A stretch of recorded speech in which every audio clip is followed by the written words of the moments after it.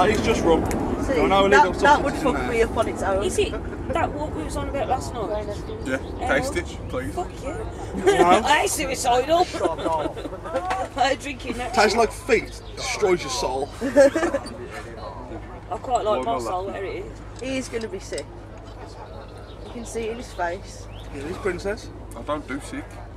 If he doesn't, do can film it so- and we'll show everybody.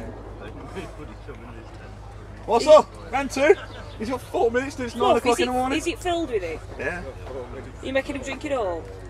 We drank some of it yesterday, so you know. Oh, I did take a big swig out of it the other day because I knew what was coming, so I took a big swig. So less You're damage, Less talky talky, more drinky drinky.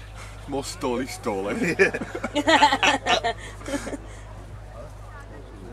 Keep going. All gone. Oh. Morning! I do fuck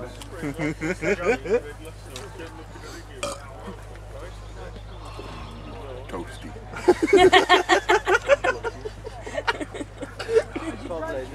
Yeah. I just can't wait to see him coming back at one o'clock in the morning in his pants. Pants and a cowboy hat. Yeah. I'm getting my camera out after I took a piss. Yeah. The pink tutor.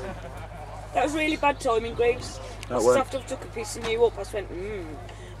That's why I went home.